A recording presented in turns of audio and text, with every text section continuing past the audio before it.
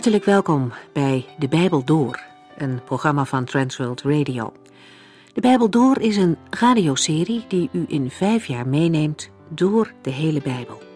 Van Genesis 1 tot Openbaring 22.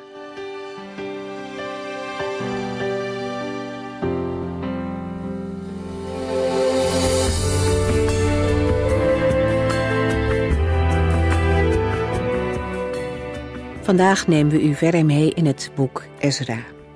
Afgelopen keer zijn een aantal inleidende onderwerpen aan de orde geweest en laat ik nog even kort voor u samenvatten wie Ezra was, waar en wanneer hij leefde en wat er speelde in zijn tijd.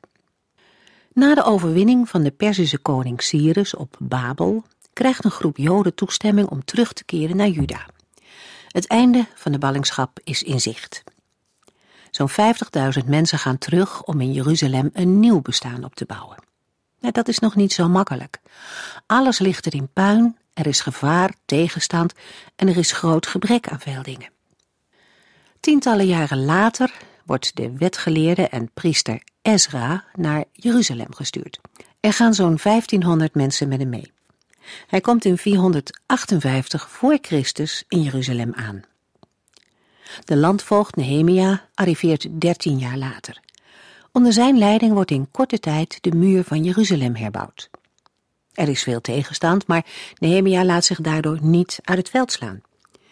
Er is een sterke muur nodig om Jeruzalem heen en om haar inwoners te beschermen tegen vijanden van buitenaf. Binnen die muren ontstaat een nieuwe toewijding aan de Heere God.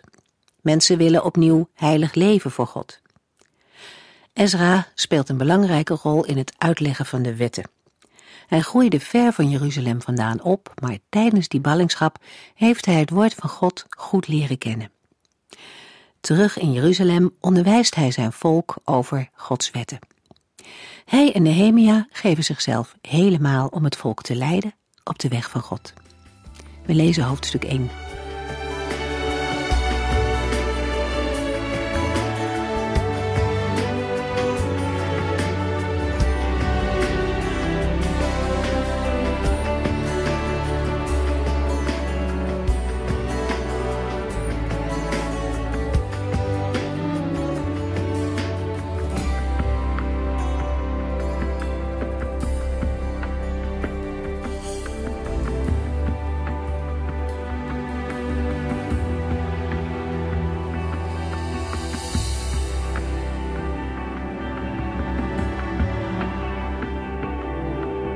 Na de introductie in de vorige uitzending hebben we een begin gemaakt met het lezen van de eerste twee versen van Ezra 1. In het eerste jaar dat Cyrus koning van Perzië was, vervulde de Heer een profetie van Jeremia.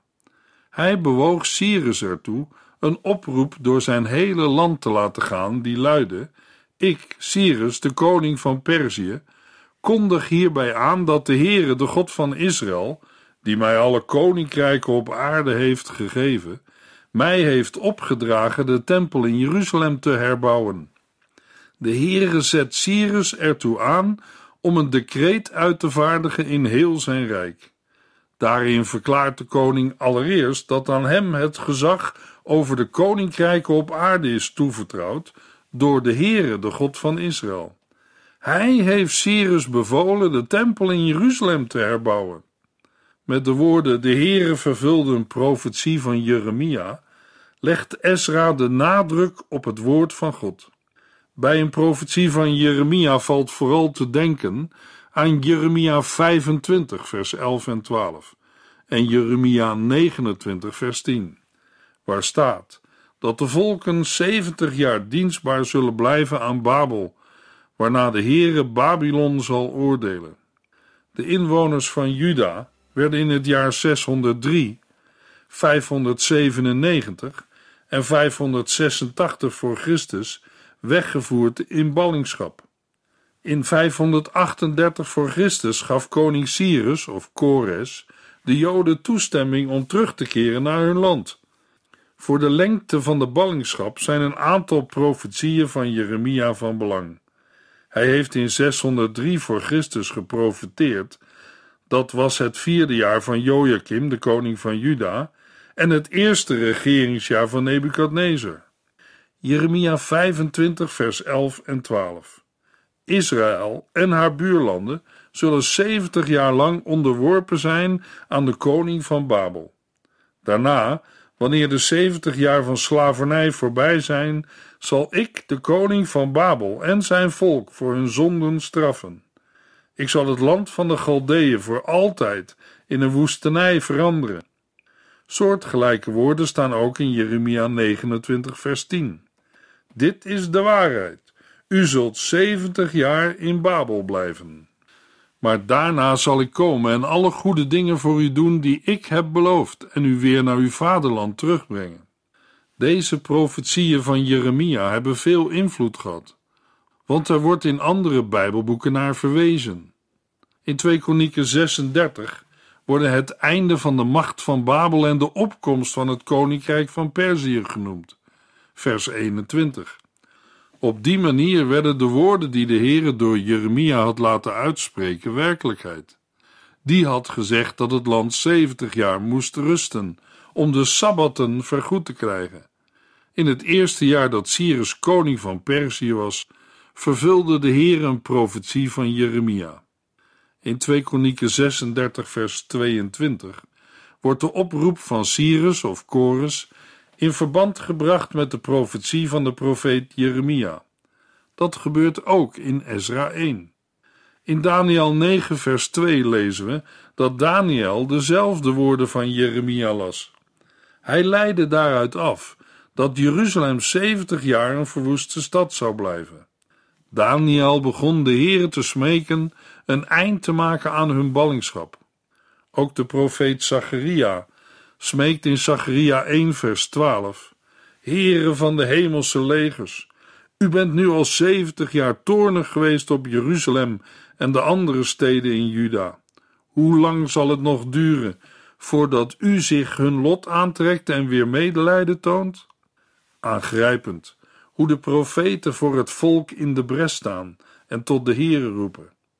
Over de oorzaken voor ballingschap lezen we iets in Zacharia 7 vers 5 tot en met 7.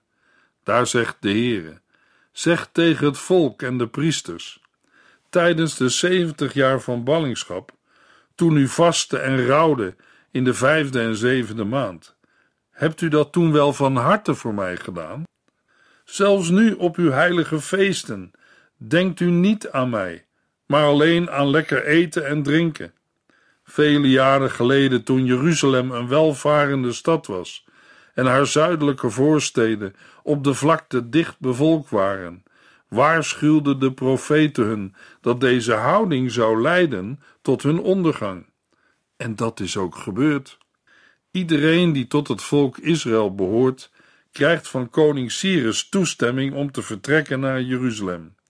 Zij moeten met hulp van hun God de tempel van de Heere, de God van Israël, die in Jeruzalem woont, weer opbouwen. Uit de verschillende vertalingen blijkt dat vers 4 een gecompliceerd vers is. Sommige uitleggers vertalen de Hebreeuwse tekst zo dat degenen die achterblijven giften moeten schenken. Dat roept de vraag op: moet de lokale bevolking de Joden die niet vertrekken financieel steunen, of juist hen die vertrekken? Het eerste is moeilijk denkbaar, omdat de Joden tijdens de ballingschap in nederzettingen bij elkaar woonden en daarvoor elkaar zorgden. Als het actieve deel van een gemeenschap vertrekt, moet er inderdaad worden gezorgd voor de achterblijvers. Maar dat kan in Ezra 1 niet aan de orde zijn, want volgens vers 6 staan alle geschenken van de lokale bevolking ten dienste van de terugkeer naar Jeruzalem en niet van de achterblijvers. De Joden die vertrekken worden gesteund met vrijwillige bijdragen voor de bouw van de tempel. Deze ondersteuning kan afkomstig zijn van niet-Joden, maar ook van Joden die vermogend waren, zoals Mordechai in het boek Esther en Nehemia. Volgens Esra 6 wordt er ook uit de koninklijke schatkist geld beschikbaar gesteld. In vers 2 wordt in de vertaling van het boek de naam van de Heere omschreven met de Heere, de God van Israël. In de Hebreeuwse tekst vinden we ook nog een andere aanduiding, namelijk de Heere, de God van de hemel. Deze titel werd al eeuwig gebruikt bij de buurvolken van Israël, maar wordt pas met de Here geassocieerd tijdens het contact van Joden met Perzië. We komen de uitdrukking regelmatig tegen in de Bijbelboeken Ezra, Nehemia en Daniel. Luisteraar, na de val van de verwoesting van Jeruzalem kon de Heere niet langer worden vereenzelvigd met het heiligdom in Jeruzalem. De heerlijkheid van de Heere was er verdwenen. Ezekiel kreeg een visioen van het vertrek van de hemelse heerlijkheid. Het Hebreeuwse woord ikaboot betekent de eer is weggevoerd. Ezekiel zag in een visioen dat de heerlijkheid van de Heere de tempel van Jeruzalem verlaat.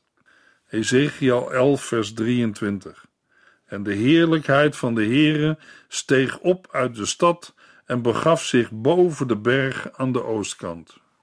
De Heere blijft toezien of zijn volk zich van de afgoden zal bekeren en terugkeren naar hem. Maar dat deden ze niet.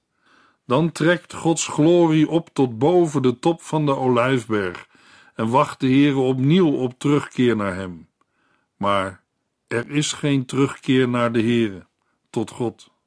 Dan trekt de heerlijkheid van de Heere zich terug in de hemel en blijft verborgen. Mensen maken van het heiligdom van de Heere soms een markt, tot eer en meerdere glorie van zichzelf. Maar dat is niet zoals de Heer het heeft bedoeld. Er moet dan een tempelreiniging plaatsvinden. Het doet denken aan Johannes 2, waar de Heer Jezus de tempel schoonveegt. De heerlijkheid van de hemel was er niet zichtbaar, maar in Christus was Gods heerlijkheid er toch. Christus heeft zijn heerlijkheid afgelegd en kwam op aarde. Hij was God en ook echt mens. Zijn heerlijkheid was verborgen in een mens. Hij werd verworpen en gekruisigd en toch is hij koning.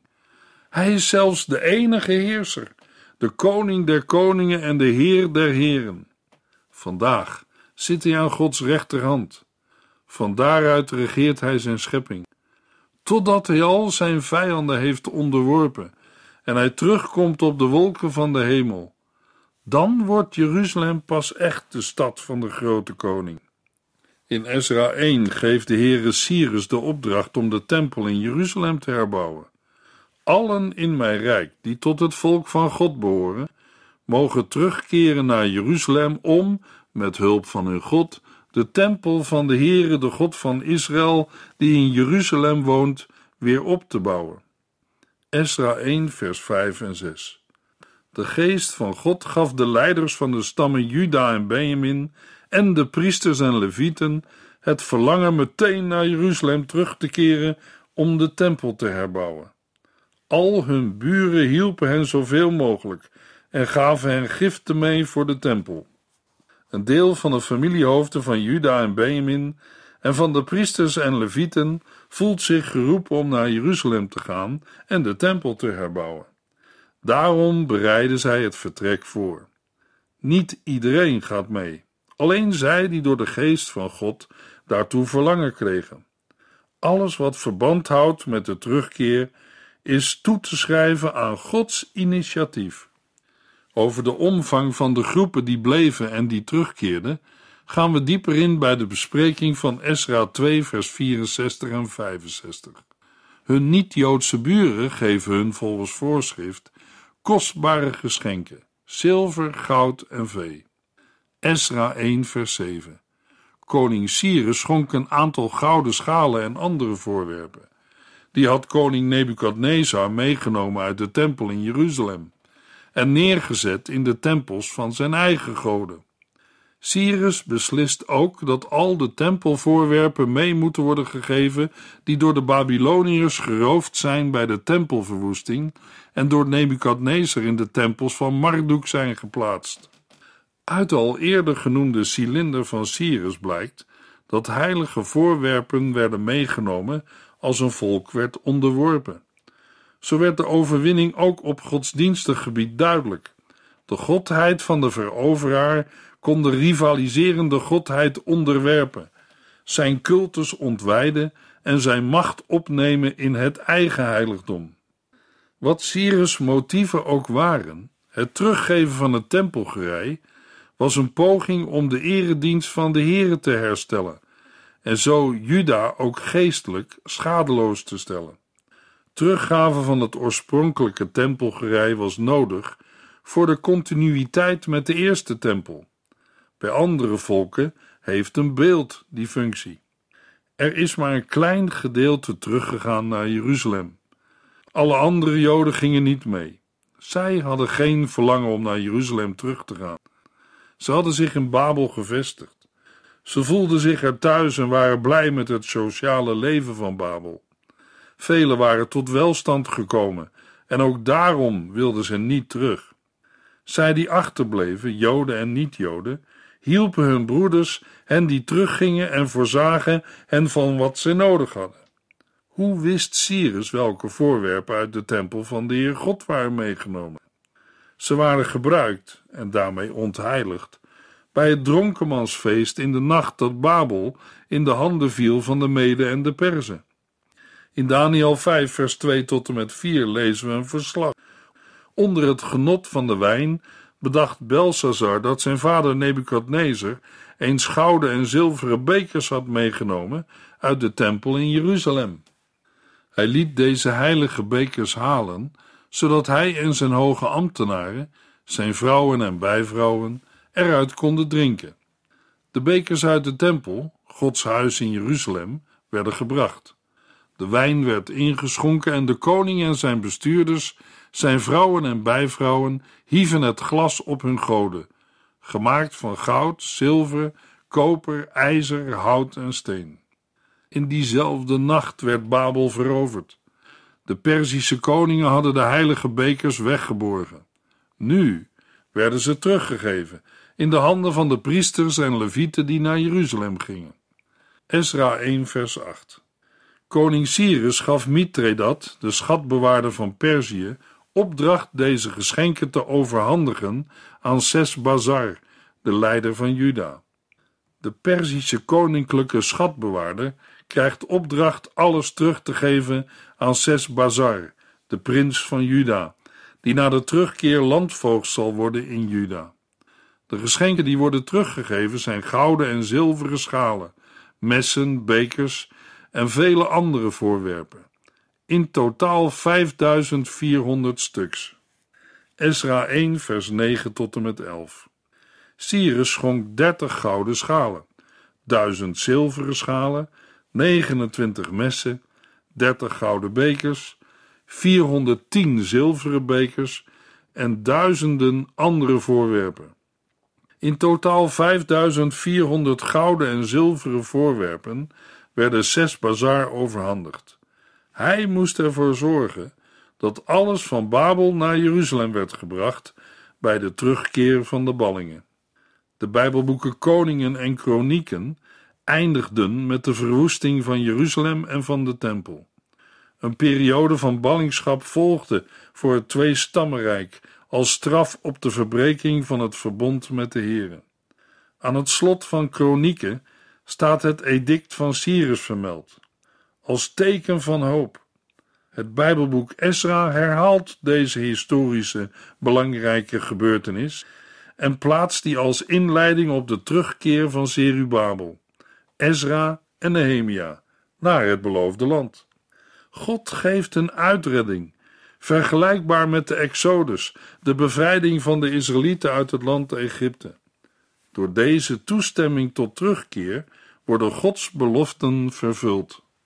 Deze beloften zijn door Jesaja en Jeremia doorgegeven. De continuïteit met de eredienst van vroeger in de tempel van Jeruzalem wordt aangegeven door de opsomming van heilige voorwerpen die na het verblijf in Babel weer teruggebracht worden naar Jeruzalem.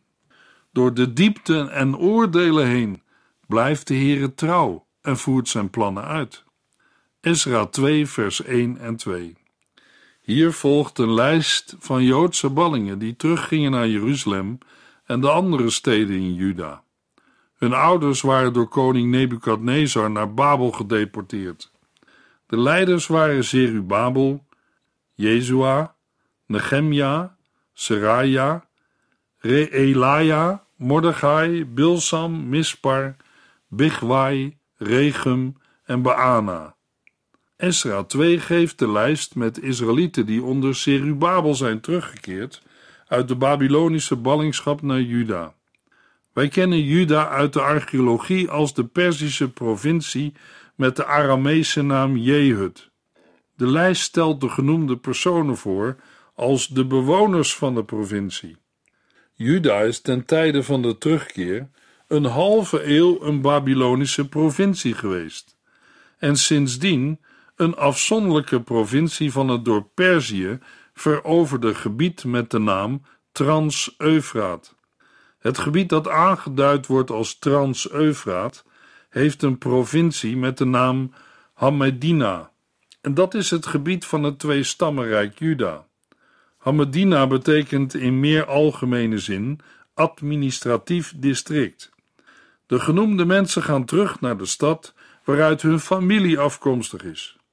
In de lijst lezen we een bekende naam uit het Bijbelboek Esther, namelijk Mordechai. Maar in Ezra gaat het wel om een naamgenoot, maar niet om dezelfde persoon.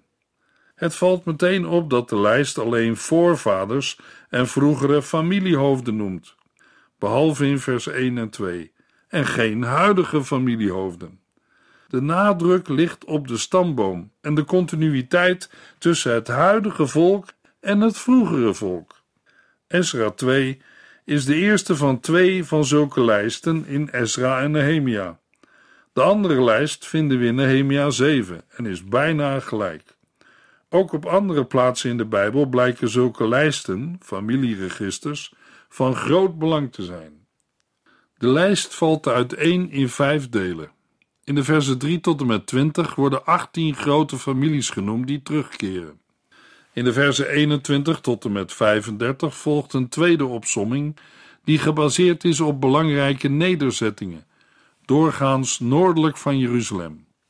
De derde groep namen wordt gevormd door de priesters, onderverdeeld in vier grote priestersfamilies, en vinden we in de versen 36 tot en met 39. De vierde groep vinden we in de versen 40 tot en met 42. Het zijn de Levieten, met inbegrip van de zangers en de poortwachters. De vijfde groep vinden we in de versen 43 tot en met 58. Het zijn degenen van onbevestigde of niet-Joodse afkomst, tempelknechten en nakomelingen van Salomo's dienaren. In de versen 59 tot en met 63 vinden we nog een aanduiding van ballingen uit verschillende Perzische steden die terugkeerden naar Juda. Ook zij hoorden bij degenen die niet konden aantonen dat ze werkelijk Israëlieten waren. Maar zo verschillend in klasse en afkomst als ze zijn, ze hebben maar één doel: herbouwen wat hun voorouders hadden verloren. Luisteraar, mogelijk is dat ook voor ons een punt om over na te denken. Wat hebben uw ouders en voorouders u meegegeven aan geestelijke zegeningen? De twee belangrijkste leiders van de ballingen die terugkeren zijn de regeringsambtenaar Serubabel en de hoge priester Jezua. Serubabel betekent geboren in Babel, is een nazaat van de familie van David. Hij wordt de zoon van Sealtiel genoemd in de Bijbelboeken Esra, Haggai, Nehemia en Matthäus maar in 1 Kronieken 3 de zoon van een broer van Sealtiel, Pedalja. Jezua is de zoon van Josadak, die de zoon was van de hoge priester Seraja, die gedood werd tijdens de plundering van Jeruzalem. Josadak werd balling toen de Heere het volk van Juda en Jeruzalem gevangen liet nemen door Nebukadnezar. Dat Jezua al snel zijn vader Josadak opvolgde, blijkt uit Zacharia 6. Ze vertrekken kort na het edict van Cyrus dat toestemming geeft voor de terugkeer. De opsomming van leiders in vers 2 vertoont enkele verschillen met de namen in Nehemia 7 vers 7. Vooral het feit dat hier elf in plaats van twaalf leiders staan. Naast hun onbekende namen komen er ook bekende namen in de lijsten voor. Bijvoorbeeld in vers 23, de familie Anatoot, 128 personen. De namen duiden op de plaatsen waar de familie voor de ballingschap woonde. We moeten vers 23 dan ook lezen als de familie uit Anatoot. Anatoot is een klein stadje waar de profeet Jeremia een stuk grond heeft gekocht. In de dagen van Jeremia stond het volk Israël op het punt om te worden weggevoerd in ballingschap. Geen goede gelegenheid om een stuk grond te kopen. Toen Jeremia het stuk grond kocht, zag de toekomst voor hem en het volk Israël er niet rooskleurig uit. Toch kocht de profeet het stuk grond. Uit de beschrijving in Jeremia 32 blijkt dat de koop van het stuk grond een bemoediging is van de Heere.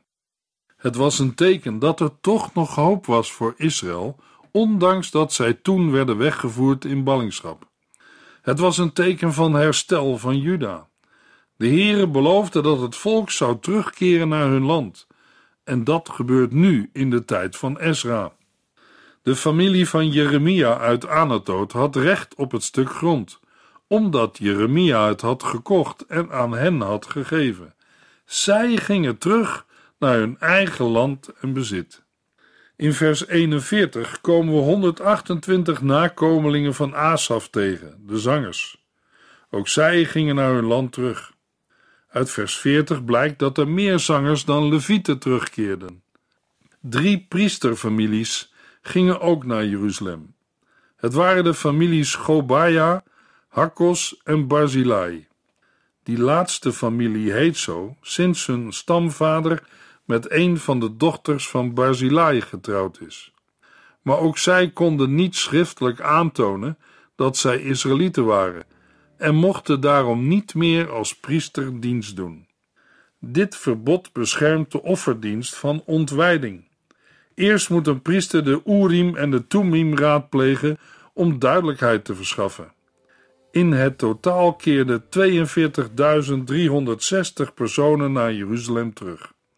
Er gingen ook nog eens 7337 slaven en slavinnen en 200 zangers en zangeressen mee. Bijna 50.000 mensen. In de volgende uitzending lezen we meer over de herbouw van de tempel in Esra 3 en 4.